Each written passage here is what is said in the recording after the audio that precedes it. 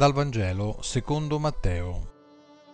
In quel tempo, avendo udito della morte di Giovanni Battista, Gesù partì di là su una barca e si ritirò in un luogo deserto in disparte.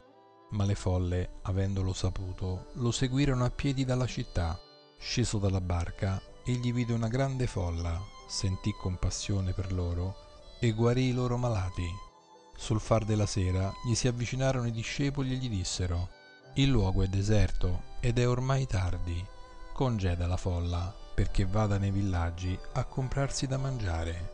Ma Gesù disse loro, Non occorre che vadano, voi stessi date loro da mangiare. Gli risposero, Qui non abbiamo altro che cinque pani e due pesci. Ed egli disse, Portatemeli qui e dopo aver ordinato alla folla di sedersi sull'erba, prese i cinque pani e due pesci, alzò gli occhi al cielo, recitò la benedizione, spezzò i pani e li diede ai discepoli e i discepoli alla folla. Tutti mangiarono a sazietà e portarono via i pezzi avanzati, dodici ceste piene. Quelli che avevano mangiato erano circa cinquemila uomini, senza contare le donne e i bambini. Ci ama tanto, tanto ci ama Gesù e vuole essere vicino a noi. Gesù si prende cura di quanti lo seguono.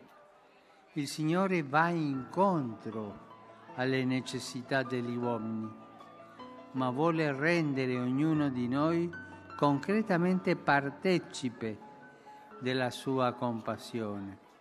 Ora soffermiamoci sul gesto di benedizione di Gesù egli prese i cinque pani e i due pesci, alzò gli occhi al cielo, recitò la benedizione, spezzò i pani e gli diede. Come si vede, sono gli stessi segni che Gesù ha compiuto nell'ultima cena, lo stesso. E sono anche gli stessi che ogni sacerdote compie quando celebra la Santa Eucaristia.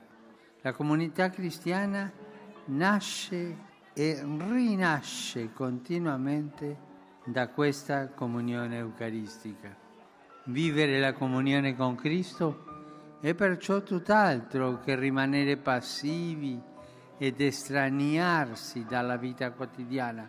Al contrario, sempre più ci inserisce nella relazione con gli uomini e le donne di nostro tempo, per offrire loro il segno concreto della misericordia e dell'attenzione di Cristo. Gesù vuole raggiungere tutti per portare a tutti l'amore di Dio